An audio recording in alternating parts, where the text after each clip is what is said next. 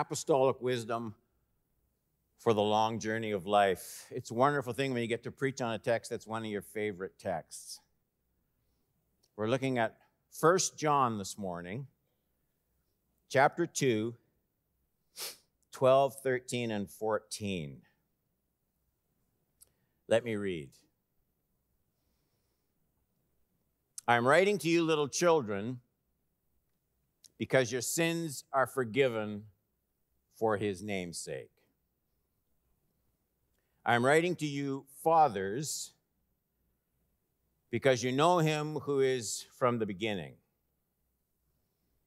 I am writing to you, young men and women, because you have overcome the evil one. And he starts again. I write to you, children, because you know the Father.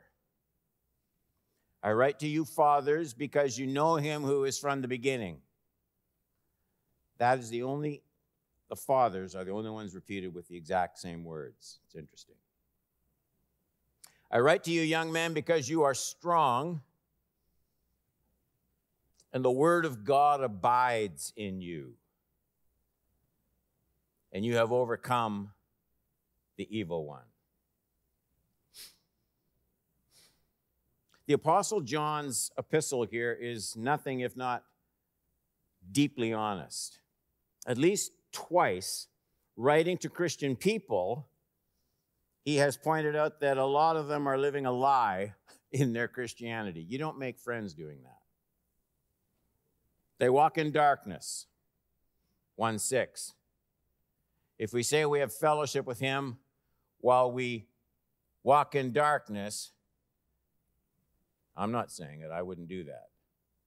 You're a liar, John says and you do not practice the truth. And then zeroing in a bit more specifically, John tells us the first thing that comes to his mind, the primary thing when he talks about people walking in darkness, how it manifests itself. And he says, Whoever says he's in the light and hates his brother, there's something relational here, is still in darkness. John writes so honestly because his love for these people is so deep. You, you really have to love people deeply to reach into their souls with honest truth like that, the way John does. You really have to care about people more than you care about your popularity. You have to have that kind of compassion. That's where this wonderful text that I shared comes in. There's a, there's a beautiful pastoral balance in these verses. John once again reminds these people of the fountain, the foundation under all of their Christian experience, the hope of all future growth. This doesn't undo the challenge of his earlier words, but what it does do is remind them of their capacity to genuinely and openly hear John's words, turn from their wicked ways, respond with divine help as they continue to press their lives more and more completely into the light. These Christians don't have to court spiritual darkness. There's grace here, there's life here, there's power here, a work inside their own skins. And this wise old apostle kind of divides up into these three age groups. It's interesting to see how he does it and applies biblical truth. First, he speaks to children in Christ. Good place to start. I'm writing to you, little children, because your sins are forgiven for his name's sake. Not because of their righteousness, not because of their goodness. Their sins are all forgiven for his name's sake. I'm writing to you, fathers, because you know him who is from the beginning. Writing to you, young men, you've overcome the evil one. And then again, I write to you, children, that's what we're looking at now, because you know the Father. John starts with the children. I'm writing to you, little children, even, because your sins are forgiven. I write to you, children, 13 because you know the Father. I, there is something precious and simple in these words. John sees this great need to talk about the only way to really start life in Jesus Christ. Everyone has to start at the beginning. You, you have to be rooted and settled on one issue, and the issue, John says, is the issue of forgiveness. We will grow up. Here's why he starts here your sins are forgiven. You have to start there. We will grow up spiritually deformed unless we have our birth in divine mercy. We won't think properly about anything else if this is skipped over too lightly. There won't be peace with God. There won't be confidence in prayer. There won't be ongoing joy apart from, I write to you, little children, because your sins are forgiven. Just the children get these words. Because grace is the entry point. Maybe you're here this morning and you have it in the back of your head that somehow you have to earn God's forgiveness or earn God's love. That's not what a Christian is. He's not someone hoping he will one day be forgiven or hoping that he can somehow qualify for kingdom stature. No. John writes to these little children. Think of little children and how clumsy and klutzy and falling over and not able to control everything properly. Those kind of people. He writes to these little children. He talks about their first experience in Christ to lay the right foundation. And he says, Never forget your sins are forgiven.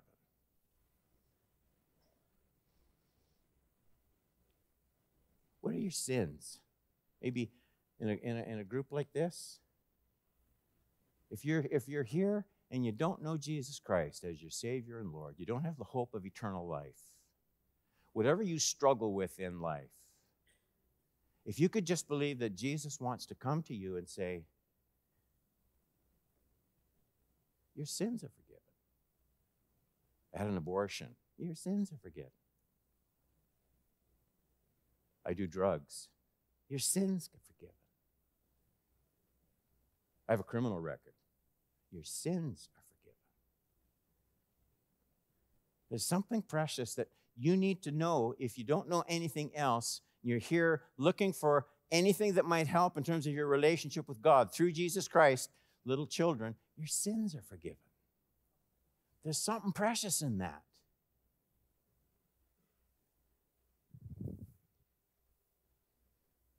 That's the entry point. We've been righteous. That's what justification means, if you took the English translation. We constantly need a living foundation in new birth. None of us ever feels worthy, but we're still forgiven. Worthy people don't need forgiveness. Unworthy people need forgiveness. There's this wise balance in John's pastoral heart. We can grow careless, we can lose sight of the magnificence and centrality of the cross of Christ. I'm writing to you, little children, because your sins are forgiven for his name's sake. It never did depend upon you earning it or deserving it. You, you, you can't help but get the impression from the last part of that phrase that it's all about Jesus and not about me. Your sins are forgiven for his namesake. I can hold orthodox beliefs about the cross and still, and still lose sight of its meaning and significance. And so John calls this church specifically to collect themselves regularly with nothing else on the agenda to take time to relive the centrality of the cross and the crucifixion over and over again. We call it communion, the Lord's Supper, the Eucharist, because we're all to learn together over and over again that the only reason we're ever here is because we've been forgiven.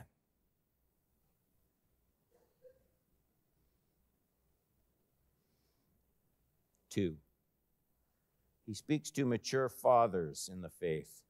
It's in 13 and 14. I'm writing to you, fathers, because you know him who is from the beginning. I write to you, there it is again, second time, fathers, because you know him who is from the beginning. This, this uh, walking in the light that John has been describing, not darkness, but walking in the light, it's meant to ripen and deepen with the passing of time.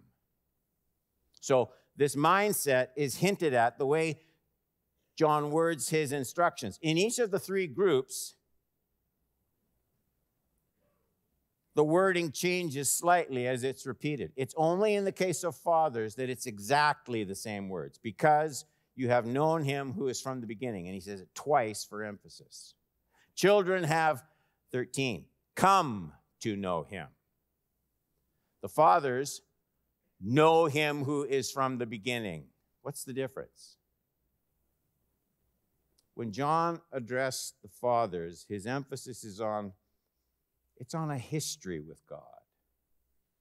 He focuses on the passing of time. The mature in Christ have learned more than anything else to, to constantly think of their present walk in the context of past lessons, past mercies, past revelations, past understandings.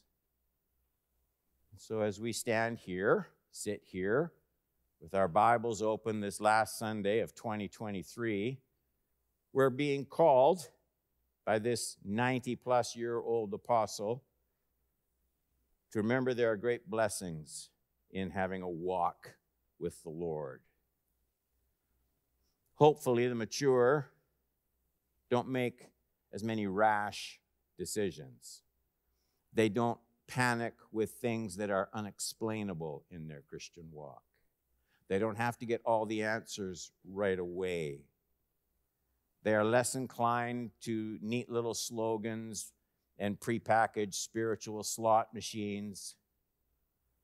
They've gradually learned, because there's no other way to do it, to see the present activity or inactivity of God, but not just to look at that, to look at the path of God, the path over the years. They've learned not to judge God by isolated events.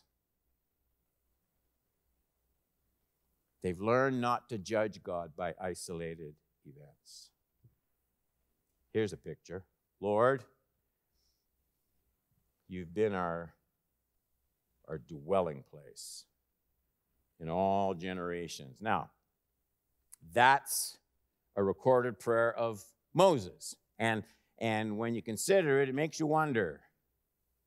One could certainly find many occasions in Israel's life where she didn't seem to even know God. She certainly didn't follow him very well. And there were times when God looked like anything but a comfortable home. You've been our dwelling place for these wayward children. If you don't think so, look at the rest of that same psalm. I was reading these verses. You sweep them away as with a flood. They are like a dream, like grass that is renewed in the morning. In the morning it flourishes and is renewed. In the evening it fades and withers. For we are brought to an end by your, do you see that? By your anger, by your wrath. We are dismayed. You have set our iniquities before you, our secret sins in the light of your presence. All our days pass away under your wrath. We bring our years to an end like a sigh. The years of our life are 70, even by reason of strength, 80. Yet their span is but toil and trouble. They are soon gone we fly away. Who considers the power of your anger and your wrath according to the fear of you? Now, I read that because you ought to sit there and say, What is going on? Verse 1 Lord, you have been our dwelling place in all generations. I like that. What is this other stuff in the same psalm? What's going on with all this negative stuff? And what happens is Moses learned to look at the long sweep of God's dealing with his people. He learned that God was good even when he didn't seem gentle, that he was fair even when he was just. He learned that God had a plan when everything to be spinning out of control. When you're young, little children, you tend to see life one event at a time. And if you isolate the events of life, if you have to have things packaged neatly, every single thing, and you need an answer every instant, you're never going to spiritually grow up. You'll just spend your whole life whining. All things work together for good. Yes, biblically true. The text doesn't say everything that happens is good. It says there's a God who can, on the long sweep of time, work everything together for good. Bad things happen. Fathers know it. Yet the promise of God is, is so wise and so good and so powerful that He takes all the isolated events, the ones I can't figure out of my life and yours, and He works them all together for my growth in Christ and yours. That's, that's the mature outlook, that's the big picture.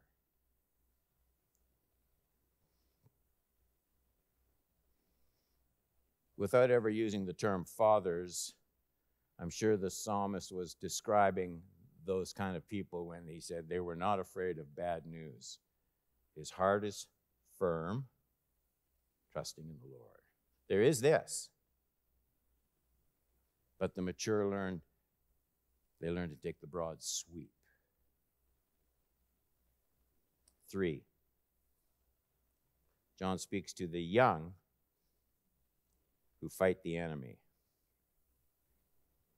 I'm writing to you, young men, because you have over, overcome the evil one. This is the only place where he talks about the evil one, just with the young man. I write to you, young men, because you are strong, because the word of God abides in you, and you have, again, overcome the evil one. There's such an important balance here. The Christian life is certainly, little children, I'm telling you, smile you're forgiven. And that's a beautiful start in the Christian life. It's not the whole of the Christian life. Christian life is not going to be just enjoying forgiveness forever and ever. Apparently, young men, there are battles that have to be fought. There's deliverance from the guilt of past sin, forgiveness, but there's the ongoing deliverance from the enemy, the world. How can I win these battles? Where does strength come from? Write to you, young men, because you are strong and the word of God abides in you. And you have overcome the evil one. The Christian life, how can I say it? The Christian life isn't just believing, it isn't even just knowing. There is much apparently to resist, and there's much to the text word, much to overcome. Hear that phrase the word of God abides in you. Some translations say the word of God lives in you. That captures it really brightly. It's not just that they've read the word, they don't just know it, they use it. It, it lives in them like, like electricity lives in these lights up here. There's an energy that comes from it. Maybe the best way to explain those words is to look at the opposite. If we say, look at, if we say we have not sinned, we make him a liar. And then this is an interesting phrase, and his word is not in us. What does that mean?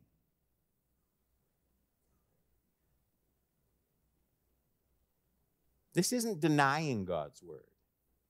It's not even neglecting to read God's word. This is something different.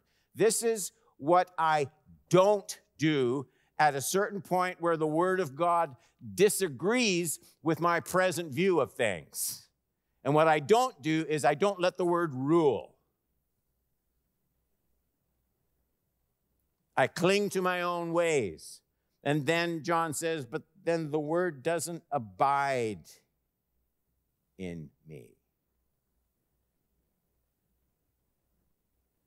John's point is simple strength comes from allowing the word to live, to dominate, to rule, to arbitrate my own thoughts, my values, my motives. This is the inward battlefield in my life. You can't see it, it's right in here. It's the inward battlefield in Don Horban's life. That's where the devil has to be overcome. That's where my own inclinations and ambitions have to be resisted. His word lives in you, young man, John says. It lives in you, it breathes, it pushes other things out, it grows.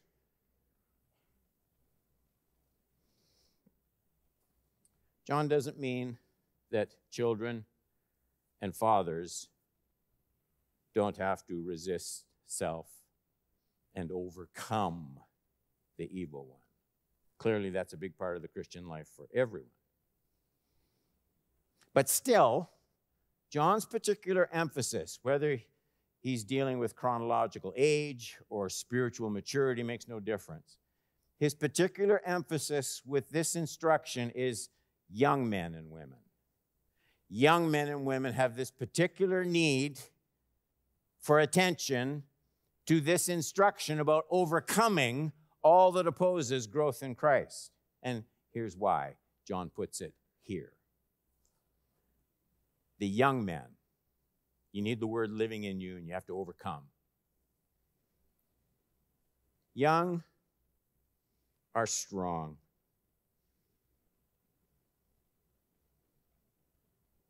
They're traditionally at the peak of their power.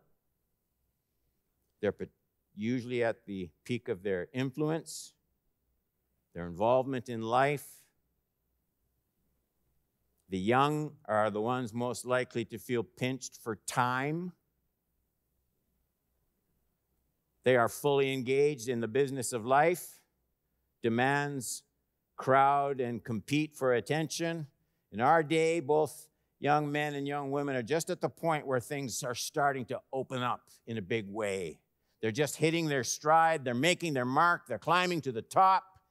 And that's the point. There's this passion in John's heart. He's now an old man, he's not young anymore. He's done with that whole race. He's one of the mature fathers in Christ that he's been writing about, but he still has a sharp memory and years of experience kind of burning inside his head. He knows about the dangers the young face on the journey. And if he were alive, and he were walking around in our church and he could speak English, he'd tap every young entrepreneurial business person, every upwardly mobile millennial just pulling out into the fast lane of life, all who are burning their candles at both ends, and he'd say, Oh, don't blow it now. Don't blow it now.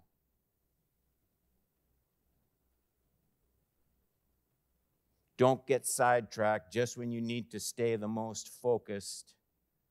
Don't get distracted. There is an evil one. Some things are more important than you're able to see right now. Some things are more important than you're able to know right now. And deepening your walk with Jesus is one of them. I'm 68 years old when I read the text about the three score and ten,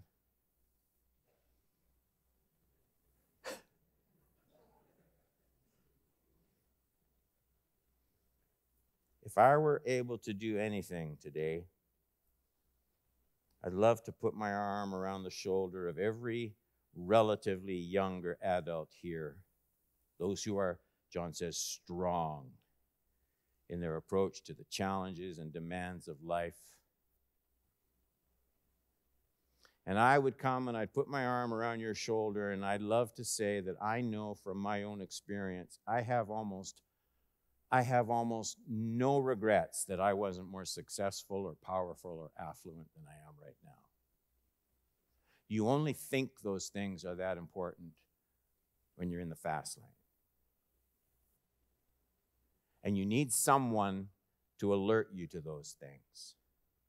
You only think you will regret not having those things while you're still young and chasing after them. But boy, I wish if I could do it again, I wish I'd given more of my life to Jesus a lot sooner. I wish somehow I could hit rewind, go back, start all over, invest more of my life, my time, my effort into things eternal instead of things fluffy. Put your soul into things that will grow brighter as you approach death. Because I can tell you right now, I can tell you right now, as you lie, I'm not trying to be morbid, I'm just telling you. You're in Southlake, they've got you in ICU, you got more plugs and wires coming out of you than you can count. You know it's fading, you know the time has come. We sing about it when your time has come. I'll tell you what you're never going to think about. You're never going to think about what kind of car you're driving. It'll never enter your head. You're never going to think about how many people work under you at your business. It'll never enter your head. But there's a host of things about Jesus, and all of them that you treasured will be more glorious the closer you come to your own death. Those are the things to invest in, not the things that fade, the things that turn to gold. All right, I got to hurry. Sorry. Three practical dangers. This is how I'm wrapping up. This is my conclusion. So we looked at the three groups little children, children, fathers he deals with who have known him from the beginning. You're able to take a long view, not a short view. You don't live by crisis events. The young, the strong, overcoming the evil one by the word that abides and lives in you. Okay, now three particular dangers. To those who are young in faith, children, here's the danger. Um, maybe I'm speaking to someone who's just about to be born into the kingdom. There can easily come the tendency to think that your life is too dark to be forgiven that easily pastor up there, you have no idea what my life's been like, and you have no idea the mess I'm in. The danger, the danger for children is, I don't, I don't think I, I don't think I qualify for forgiveness. Works for some people. My life is too messed up. That's the big danger for the young children. Your sins are forgiven. Of course, you never get anywhere renaming sins and treating them lightly. I know that. John knows it too. But, but he seems to urge that we do start out in our walk with this high confidence in God's forgiving grace. Got to move on. B.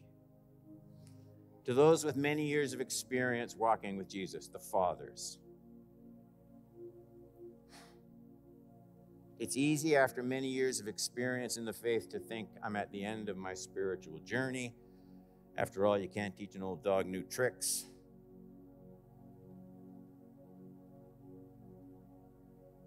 Remember, both John and Paul defined mature people as those who keep stretching toward the mark, reaching for what's ahead. Do mature, don't settle. You have a needed ministry to children and young in the faith. And you will certainly need to offer directions to all of those caught up in the daily battles and distractions of life. You're needed, your voice is needed. To the young and the strong, those just brimming with strength and the fullness of all of life's opportunities and challenges. Danger is it's easy to forget where the real battles lie. You can easily squeeze God out without ever meaning to. The biggest battles aren't in your company's head office. The most urgent battles are inside your own mind, inside your own heart. the battle to keep, John says, the word of God living in you. That's this wise old, divinely inspired author's dying words to people like we moving into 2024. I just want to close this way. To those who are here and you're on the outside looking in, I'm, I'm, i think you would know that. I want you to know that your sins can be forgiven. I don't care what your past is, you can experience forgiveness. All of your sins, all of them. The ones that keep you up at night, the ones that nag your conscience, the ones that you think disqualify you for anything good in the rest of your life, the ones that certainly would rule out a holy God. Jesus died for those sins. That's why they're forgiven. And I'd like you to receive that. So, what do I have to do? You just receive it. Believe it's true. Look to Christ who died for your sins. You don't qualify. None of us ever did. It's grace. Receive it in your heart.